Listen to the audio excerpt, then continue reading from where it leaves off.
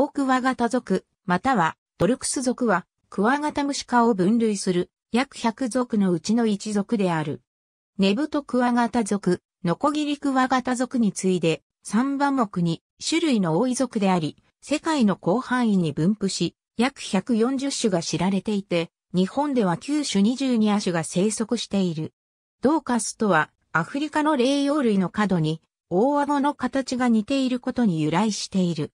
かつては、平たクワガタ類、コクワガタ類、赤足クワガタ類などは別属で分類されていたが、同じオオクワガタ属の亜属として統合された。本属の特徴としては、体色は黒色が多く、上から押しつぶされたように平たい。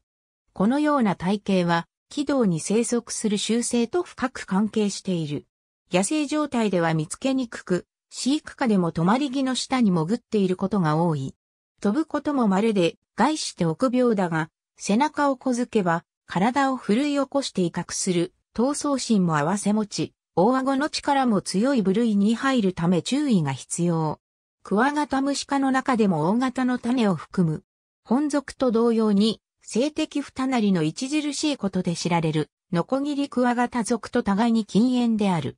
愛好家からも特に人気があり、日本産のオクワガタをはじめ、アンタイウスオクワガタ、中国ホーペオークワガタなど一時期も手早されたものも本属の種である。このため、今日の飼育用品はこれらの種の飼育を目的としたものが中心で、当該種はもちろんのこと、他のオクワガタ属であっても、食性などの生態が似通っているため、飼育方法もほぼ確立しており容易であると言える。種類数が多く、アジアヨーロッパ、北アフリカ、北アメリカと分布域も大きい。成虫の寿命が比較的長く、活動開始から1年以上生きるものも多く、日本など温帯地方に分布する種類では土焼きのホラに潜り越冬する習性を持つものが多い。オークワガタ族は7ア族に分類されている。インド北東部、ネパールブータンミャンマー西部に産する個体群。3亜種の中で最も大きくなり、の体は他の亜種に比べて体はやや細長く、光沢が強い。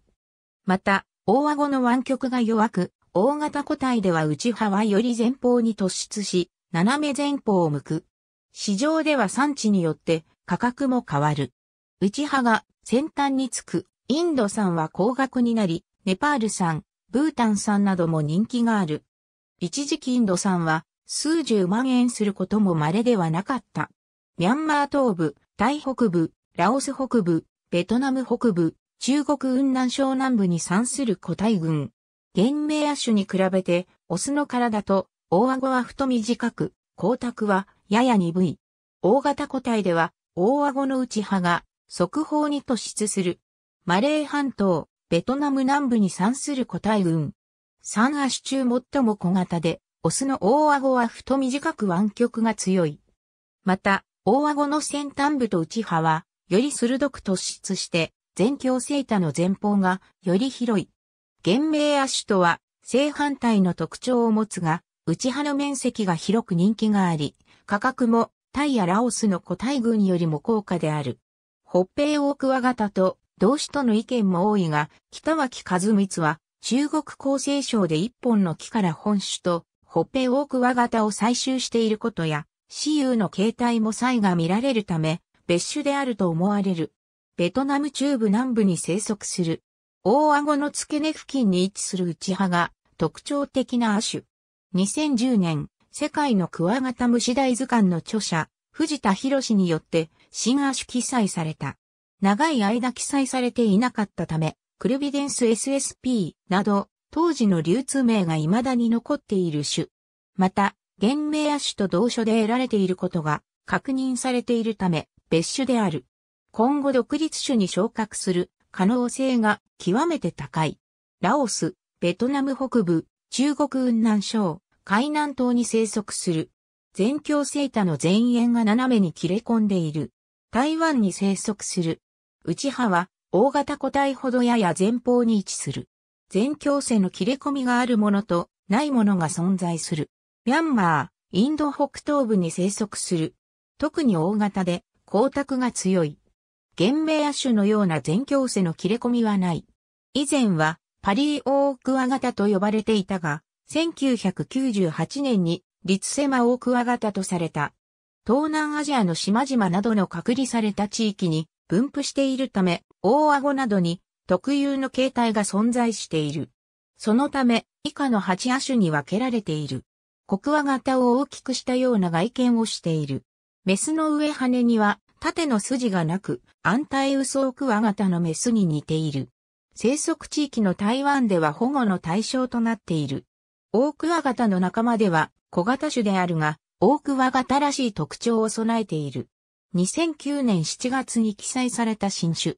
ベトナム南部に分布。ホロタイプ標本は飼育個体。野外で発見されている個体は、ほとんどがでは、小型の個体しか得られていない。ベトナム北部、タイ北部、ミャンマー北部、インド北東部などに生息する。2010年に世界のクワガタ虫大図鑑の著者である藤田博によってドーカストンキンシスという学名で新種記載されたが、すでに記載されていたため、学名表記はドーカス役者が正しいと思われる。学名は一般的に記載年の一番古いものが使われるため、役者とは古代インド神話に登場する鬼神夜者のことである。日本のオークアガタ族については、ミトコンドリア DNA を解析した結果から、分岐の順序が明らかとなっている。ありがとうございます。